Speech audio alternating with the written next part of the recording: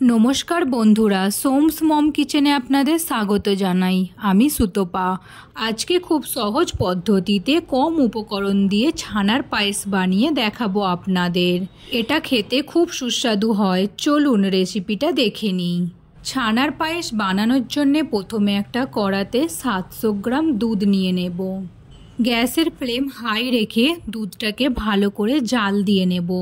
এই দুধটা আমি ছানা বানানোর জন্যে জাল দিচ্ছি। ভালোভাবে দুধটাকে জাল দিয়ে নেব। এবার দুধটাকে ভিনিগার দিয়ে ছানা বানিয়ে নেব। আমি ভিনিগার দিয়ে ছানা বানাচ্ছি, আপনারা চাইলে লেবু দিয়ে ছানা বানাতে পারেন। তবে ভিনিগার দিয়ে ছানা বানালে ছানাটা ভালো হয়। ভিনিগারটা দেওয়ার পর গ্যাসটা আমি অফ করে দিয়েছি।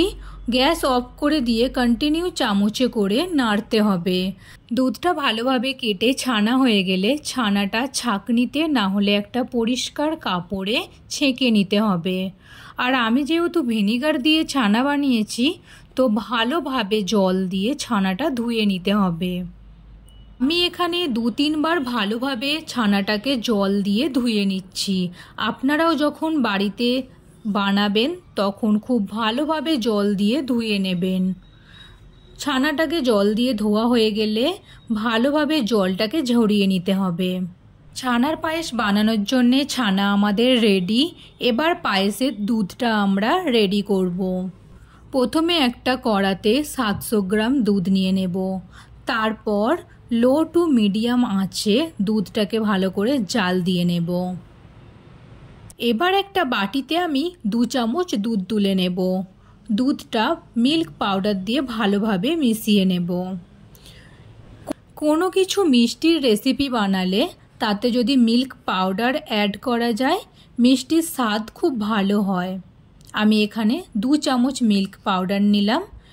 দুধের সাথে ভালোভাবে মিশিয়ে নিচ্ছি। এবার এই দুধটা কড়াতে অ্যাড করে দেব।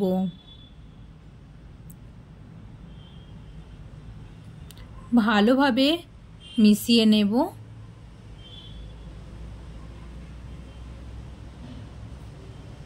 এবার দুধের মধ্যে আমি কেশর দিয়ে দেব। আর দেব হাফ চামচ এলাচ গুঁড়ো। এলাচ গুঁড়ো দিলে খুব সুন্দর একটা গন্ধ হয়। এবার ভালোভাবে দুধের সাথে উপকরণগুলো মিশিয়ে নেব। আরও পাঁচ থেকে দশ মিনিট ভালোভাবে দুধটাকে জাল দিয়ে ঘন করে নেব। এবার দুধের মধ্যে এক কাপ কনডেন্স মিল্ক দিয়ে দেব। আমি এখানে ঘরে বানানো কনডেন্স মিল্ক দিচ্ছি।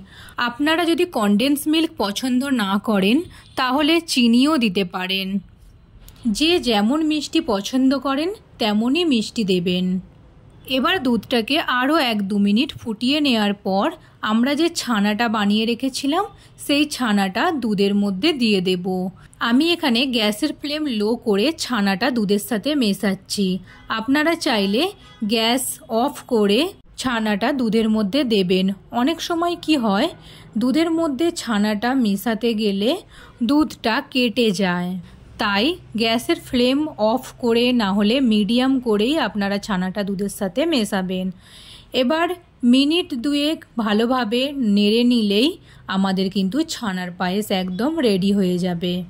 সহজ পদ্ধতিতে আমার এই ছানার পায়েসের রেসিপি যদি ভালো লেগে থাকে, তাহলে ভালোবাসার মানুষকে অবশ্যই বানিয়ে খাওয়ান।